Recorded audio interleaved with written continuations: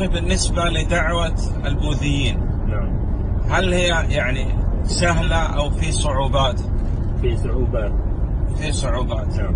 لكن آه، لا يوجد أصلا يعني عداوة بين المسلمين والبوذيين لا. ولا بين البوذيين تجاه المسلمين.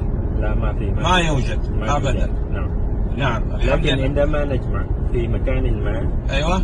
ونظهر أو يعرف يعني رئيس القرية نعم. البوذي أو الحكومي أيوة.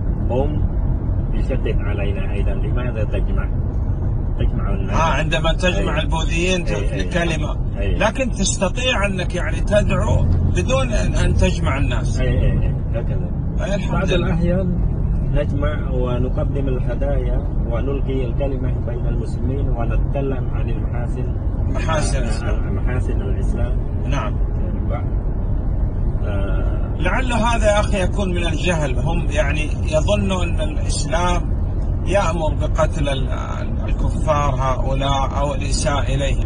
فلو بينتم لهم أننا يعني لابد نفي للكفار بالعهود وأننا يعني هذا الدين الإسلامي دين إحسان أن نحسن أولا في عبادة الله ثم نحسن إلى عباد الله. والنبي صلى الله عليه وسلم نشر يعني آه، الأخلاق الحسنة نعم. وعامل الكفار كما قال الله سبحانه وتعالى عنه عليه الصلاة والسلام وإنك لعلى خلق عظيم. سماه الله سبحانه وتعالى أنه هو نبي الرحمة رحمة لكل الخلق نعم. حتى للكفار.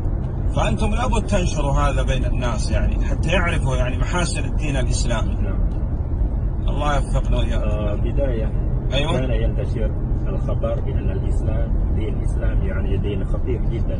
آه. آه. بعد آه، المبنى الاثنين في أمريكا هذا أو بعد سقوط العراق. آه 11 سبتمبر نعم, آه، نعم. 11 سبتمبر. آه نشروا هذا بعدين- المسلمين. أي أي بعدين نحن قمنا بنشر المقطع في الفيديو آه، في فيسبوك آه، نعم عن طريق الخطبة والبيان. ثم نحن نقيم الدورة وندعو بعض الرؤساء يشاركنا ثم في أثناء الكلمة نحن نبين. هكذا يعني الآن هم يفهمون كثير. آه الحمد لله. إذا لازم تبينوا لهم نعم. هذا. أي نعم. دفاعا عن الحق. نعم. أي نعم.